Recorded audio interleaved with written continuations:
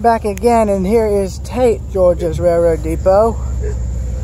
As you can see, it's also been real be beautifully restored. It's also been moved back from the tracks, too. I'm going to do a quick walk around of the depot, and so, yeah. I'm going to be quiet now while I walk around it.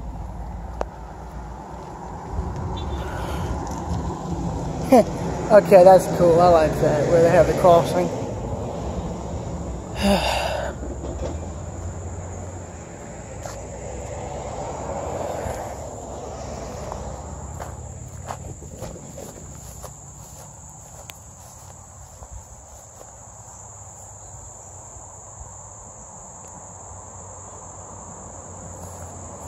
here's the back of it and so yeah. That's pretty much it for the video and so I guess I will be seeing all of y'all later. Bye